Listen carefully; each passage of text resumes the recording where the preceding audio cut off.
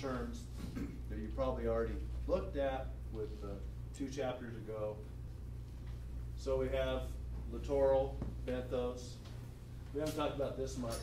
Neuston, the microscopic stuff that lives on top. There's a whole suite of organisms that are adapted to that, and we'll have a special section on special unusual environments. Pelagic is open water, fairly unstructured habitat. So you can imagine something that does well filtering, but they can't deal with this spatial heterogeneity. The deep benthic zone, profundal benthos, all these animals that perhaps can live with lower oxygen, um, do well in sediments. Because it's a lake, it, it tends not to be very much heterogeneity in the habitat there. The Littoral water column, things that might be more related um, to the, tied to the benthic zone, not do so well in the open area. And you can, and then there's examples of the types of species that you might find dominating in each of these habitats. So that's when I go through the major species, I say, oh, this one tends to be benthic, this one tends to be pelagic, or, you know, as member, group has members of both.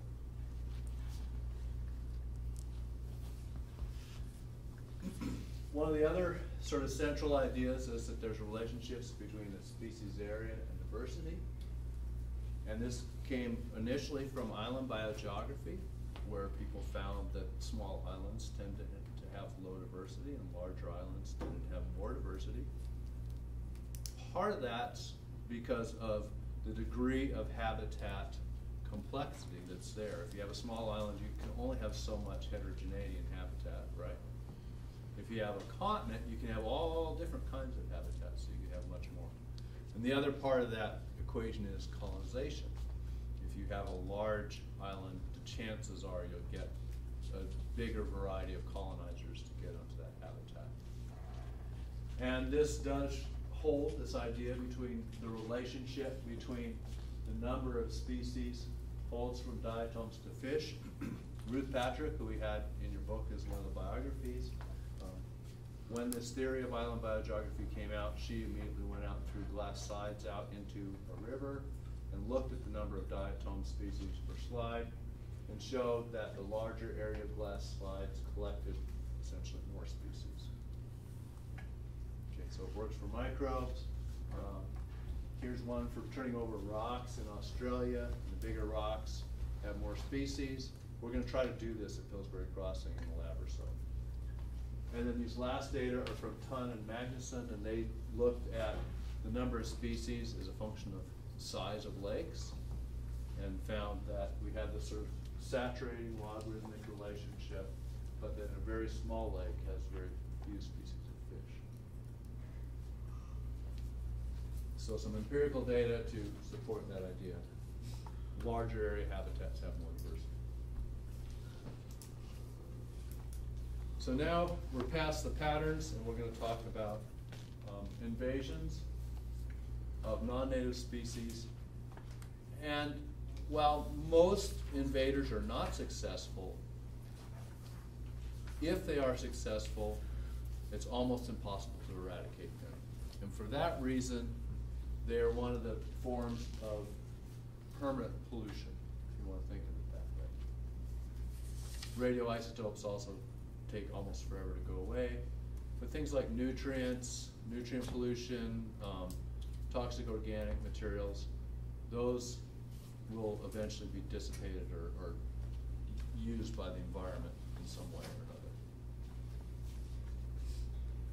So there's, the problem is with, with understanding why invasive species come in is that it's really hard to predict which species is going to be a successful invader. And so much of the stuff that goes around this science is based more on understanding what characteristics of particular species are that makes them prone to be successful, but predicting whether they will be or not. So the first point is that most invaders fail to establish. You got to throw a lot of invaders in a habitat to get it to Another way of looking at that is if you want to keep a habitat from being invaded, you want to decrease the number of species that are added to the environment and decrease the probability as much as possible. most invaders have no significant effect. So we saw, for example, watercress out in the, in, in Kings Creek. It was added to the streams in the, in the southwestern United States by the Spanish when they came through. Not huge effect on the food webs in those streams. So it's there, it's new, but, you know, so what? All aquatic systems can be invaded. None, none is, basically, you don't, you can't assume that a uh, system can't be invaded. Low diversity systems are prone to the strongest community level effects, right? And that's because there's just not much diversity in traits there. If you put a brand new trade in, it could totally swamp everybody out. Top predators tend to have strong effects because they eat everything. Pretty straightforward, right? Species have to be adapted to the, to the habitat to invade successfully. So you're not gonna take a tropical large predator, release it in the lake here and have it survive any more than one season, because once, once the temperature drops, it's. Invaders tend to be more likely to be established in disturbed systems. That makes sense. They're just, there's, there's room for things that aren't competitive at the beginning to move in there. Environmental variability can play a role in establishment. I think this is just sort of, a- it depends, like anything that happens in the environment can alter, can play a role. That's, that's not a very strong statement there. Um, stable systems still can be vulnerable, so even a stable, diverse system is not prone, is not, um, resistant, completely resistant to invasion. And getting back, the greater the number of invaders and the number of invasions, the greater probability of success, so that's the same thing as, most, up here, we were talking about this, that the higher the probability is, one, the more individuals of a species you put in, and two, the more often you put them higher it's gonna, probability of success is gonna be. Species that have a history of prior invasions are likely to invade successfully again. And we have these series of species that we know cause problems everywhere in the world that they're put, right? And they'll probably cause problems in the next place they go. So zebra mussels are a classic example. We know what's gonna happen when they get into a lake, so all we gotta do is try to keep them out. Um, I should also mention in this context that fisheries, uh, managers have a long history of, of promoting these types of problems.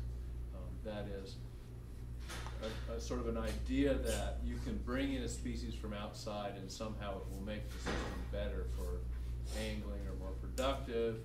And this is based on the concept that there are empty niches or things that are not exploited in an environment. So this second point, most successful invaders have no significant effects, that can be true, but it's difficult to figure out and you need to know that before you put the, put the species in. So probably one of the most widespread, non-native uh, aquatic freshwater species is trout. It's been put all over the world just for anglers, basically. Any cool water system that didn't have it, almost now, at least large area has it. So, you know, South America, New Zealand, Australia, all over the place, Tasmania, all over the place, it gets thrown in there. And then moving different species of trout around with the idea that one's better than the other. So we have situations where brook trout is sort of an invasive weedy species in the Rocky Mountains because it can reproduce real fast and little and it's not, you know, not great to catch there, but it's essentially endangered in the northeast, or at least being protected in the northeast where it's native. Same with brown trout um, coming from Europe to the United States. So there's a lot of these examples. I think there's gonna get less common and the, the emphasis for fisheries managers is going to be trying to maintain the native fisheries, and it's getting more and more that way uh, over time. Uh, But still, you know, we're throwing trout in near Tuttle Creek Reservoir probably pretty soon in the little outlet stream, and it's, you know, what good does that really do, other than it's just a put and take fishery, and I, I don't know, I mean, I guess it's not a native stream either, but it's, it's, it's something that, as, as some of you being future fisheries managers need to be thinking about what your philosophy is on it, and when it's correct to do it and when it's not correct to do it. So I just wanted to bring up that point. Uh, one of the examples, so we talked about zebra mussels coming into the Great Lakes and being released in ballast water. Um, but this is a partial list of some of the other invaders of the Great Lakes. And the point here is not so much for you to memorize all this list, but get an idea of how extensive this problem can be. So one of the first ones um, that caused major changes was the sea lamprey. And as the shipping canals got put in throughout the northeastern United States, they connected the Atlantic, the, the streams that flow into the Atlantic with the Great Lakes. And they weren't connected with sea lampreys before. Why is that? What is it that physically separated the Great Lakes from the Atlantic Ocean? What physical feature? A waterfall, yes. Which waterfall would that be? Niagara Falls, good, right? So Niagara Falls is pretty big waterfall, sea lamprey can't make it up, and the river has to go over that to get out. Once these shipping canals came in all through it, and allowed these to move in, had huge effects on the lake trout fishery in, in that, um, in that There was a large commercial fishery that, that basically crashed after the lamprey got in and took many of those out. Um, and then we have a whole series of other things, um, purple loosestrife, which can take over wetlands, and there's a bit in the book on that. Um, and that came in with solid ship ballast, so sometimes ships would load rocks and dirt and stuff in as opposed to pumping water in. And particularly, um, when they didn't have holds that held, that they didn't have big tanks that could hold water, so basically wooden ships, or ships that weren't, weren't sealed up as well on the inside. And then a whole series of ones, the Chinook salmon and the common carp, they were introductions, both of them. Uh, common carp released in much of the United States from Europe because it's a food fish there, but, but not here so much. Um, And, uh, it's a good, it's a good, uh, food, food fish, but it causes real big problems because it eats all the macrophytes and stirs up the sediments a lot and it can, it can really change the system. I have a severely. question. The Okay. second one, the purple, something, is that a fish? Is that a? No, that's a mussel? plant. Purple loosestrife is a plant. Yeah, so most of these are fish, I guess, or, or at least animals, but that's, a- that's a plant. Um, we can just go down through the list, brown trout introduced, you know, a whole bunch of different, here's another plant, water milfoil, um, zebra mussel. And this is just a partial list, there's literally a hundred or so species that have come in, and, and more all the time. So what is happening now to change this is that they're trying to, they're, they're trying to exchange ballast water in the middle of the ocean, and it's gonna go a long ways towards, towards taking care of this problem. So when they get halfway across the ocean, they dump all the fresh water that they took off on the port in Europe, and they repump in salt water into the, to- into the ballast tanks, and that basically means that you're gonna get rid of most of those, most of those species that were included in ballast water. We can see a lot of these came in through ballast, ballast water, all, all these down the bottom. And, and uh, so that's gonna take care of a lot of it. And then also the laws that don't allow you to bring in or import species. Um, and so it's, it's, um, how'd you say, it's a little bit irksome when you travel internationally and come in and they're looking through your luggage for agricultural products and whatnot. But there's actually good reasons for that, but, you know, we, we know that. Okay, so the other side of the coin is, we've got this world where there's some species are just found everywhere. Other species, um, many other species are, are going extinct. And, and, and now, um, extinction rates are about a million times greater than they have been historically. So there's no way that evolution can keep up with extinction. Essentially, over a long view, evolutionary rates have slightly exceeded extinction rates. And over the long view, there's been this gradual increase in species diversity since life evolved, right?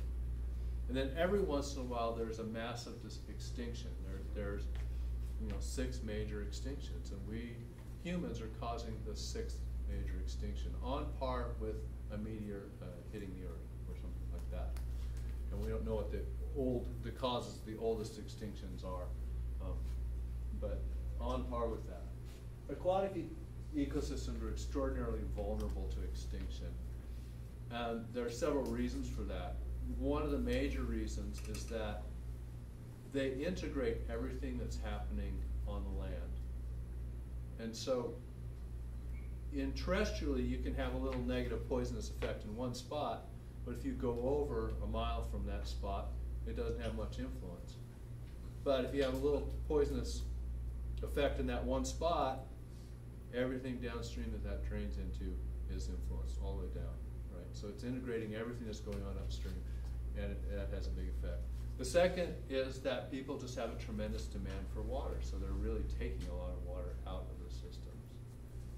Um, and the third is that they're, you know, with the large fishes, um, they're pretty vulnerable to overexploitation. And almost every major fishery that's out there, the fish have been overexploited in. Um, and it's, it's the history of mankind that if you have a lot of big fish and you have people near them, then they come and take them all away. And so we have all the marine fisheries crashing basically because of that, the really large fish. We're eating further and further down the food chain as, as humanity. There's exceptions to that, obviously. There's, um, in the United States, we don't actually use a lot of fish as a commodity as much as some other parts of their, parts of the world. So there are species are considered trash species, they're not recreational, could be considered food species that are doing quite well. Um, But I'm talking about the broad scale, over the entire earth, how many species we have. Um, and the suggestion is that the most endangered groups of animals are, um, are the fishes, uh, and, and the amphibians that are associated with fresh water on Earth. Is, is, you know, maybe thirty to fifty percent of the species are in danger of extinction or have already gone extinct. So it's extraordinarily high, high levels. Some uh, big examples here. Lake Victoria is a big example. And it's an area that had explosive speciation. 300 species evolved in 12,000 years. That's, that's extraordinarily fast. It's probably the fastest rate of radiation of, of any group of organisms known. Um, and it's quite a bunch of diversity. But of those 300, 200 of, of those have gone extinct, and this isn't the last decade, but it's several decades ago. It took about 10 or 20 years after the in- introduction of the Nile, introduction of Nile perch, and then also pollution causing the lake to go anoxic at times. And Nile perch is a very large fish, um, is commercially uh, important. It can be uh, caught in, in nets with larger boats and then put off into um, markets, exported into markets. Unfortunately, what happened is the Nile perch went into this lake, ate all the smaller fish, but the people that live around the lake only have small boats and small nets, so they can't physically handle catching the Nile perch. And so it, it crashed the fishery for the people that were, that were using the fishes to feed themselves and had been for, you know, for way more than twelve thousand years. Um, and, but also created a fish that they can't afford to buy in the markets, and so it gets, gets sent away. So it's, it's, it's had these sort of cascading social ramifications, in addition to the loss of biodiversity with these two hundred species going extinct in that particular lake. In the United States, um, threatened or endangered, we have seventy-three fish species, sixty-nine bivalves, many of these unionid mussels, um, some snails, amphibians, crustaceans listed as endangered. And the, the big group is the unionid mussel species that are endangered. Um, this, this is a real problem because these things take a long time to reproduce, and so if you set up situations where they can't reproduce, it looks like they're hanging on, but there's no young ones coming on. So an example, um, in Iowa, John Downing and his student went out and sur- resurveyed sites in around 2000, 20 years after the last survey that was in nineteen eighty. Not big change on the landscape, but they lost a lot of mussel species, and it's probably because they just had gotten near the end of their lifespan, were not able to ever reproduce and keep the populations going. We have similar things going on with the unionid mussels in, in southeast Kansas and Oklahoma. Um, and Caryn Vaughn, who works at University of Oklahoma, has also shown how we get these smaller populations of mussels because we're sort of hammering them and getting the population smaller and smaller, and there's only so much suitable habitat. And you add on top of that this extreme drought that we had, And it just really caused some of these populations to blink out. So they get vulnerable, we make them more vulnerable in that natural variability that occurs, there isn't a population that can withstand it. So it's another thing that we're, that humanity's doing that doesn't have this right-away effect, but eventually will lead to the extinction of species. And this is irreversible, this is truly irreversible, um, type of, of effect that humans have on the environment, right? So you are probably living in a time when you'll, when half the species on Earth will disappear uh, from the face of the Earth. The bulk of those being in tropical rainforests and in coral reefs. Uh, And the coral reefs are endangered from overexploitation and also because increases in carbon dioxide acidify the ocean as it dissolves into the carbon, into the, into the ocean. Makes it very difficult for organisms that use calcium carbonate either as a shell or as an external structure like corals do to build that structure. And so it's gonna drive a bunch of them out just because of, it's an, it's another effect of humans releasing CO two into the atmosphere that is not necessarily related to global warming. You put on top of that, the corals have a very narrow temperature band that they can survive in, um, and we're pushing them out of that band? And so there's these two stresses going on, and coastal nutrient pollution and sediment pollution are, are big issues in many places in the world. So you put all those together, those are the big areas. But proportionally, the freshwater is gonna lose at, at least as much, right? So, if you get a chance to go out snorkeling, do it, um, because when you're my age, they, there might not be much left for you to see. Oh, this is a cheery lecture, isn't it? And so, just to cheer you up even more, I'm gonna tell you a little bit about some work that I've, done in Panama in the past, another set of species extinctions. And this is a, a species extinction, um, from, uh, a fungus that's been introduced to North America. It's not exactly clear where that fungus came from. Probably came in on African clawed frogs, um, and they're used for research purposes, and they also used to be used as a pregnancy test, uh, before they had antibodies and all the, um, all the, um, more sophisticated ways they have of, of, of determining pregnancy now. And they just take serum from a woman, inject it in a female frog, and it would cause it to lay eggs if she was, if she was pregnant. So it was, it was a, an old school uh, pregnancy test. These frogs are put all over the place, and they have a fungus that Donnell has actually worked on quite a bit. And Donnell, uh, as an undergraduate, did research on that fungus moving about in Idaho and some of the problems that it caused. Do you want to say anything about that at all? Frogs are cool. Yeah, frogs are cool. Chytrid is bad. Chytrid, yes. So it's a kid. It's uh, uh, what is it? Batra- uh, Batrachio, Chytrium, dendrobatatus. Bata- bata- I had to work at that one. Batrachio-chytrium dendrobatatus. Yep. Okay, so it's a chytrid fungus. Um, and it's moved through many parts of the world. In, in Central America, what it does is it, in, the in a fairly narrow temperature band, it alters the ability of the frogs to regulate moisture across their skin. And amphibians are extraordinarily sensitive to this because they, they have to keep their skin wet and they have to maintain water balance or they'll die. Um, but it's in this narrow temperature band, so in the warm areas, the fungus can infect the amphibians and spread through the populations and not kill them. But in the cooler areas, in the higher elevation areas, it will kill essentially everything that's there. And so Central America has this chain of mountains that's running through it and has these areas that are cool high and the areas that are warm in the lowlands. Those cool areas have a unique assemblage of amphibians that have evolved there because they, they're honed in on those particular temperatures. So this wave of disease has moved through Central America and has, when it hits these higher elevation areas, all the frogs die and you lose a bunch of species. And it's really literally to the point where I have a colleague that worked in this, in this forest for um, twenty years in, in the, uh, what is the easternmost part of Costa Rica, because it started to swing around where it hits Panama right there. And she was out there when the infection hit, and like frogs were literally dying and falling out of the trees.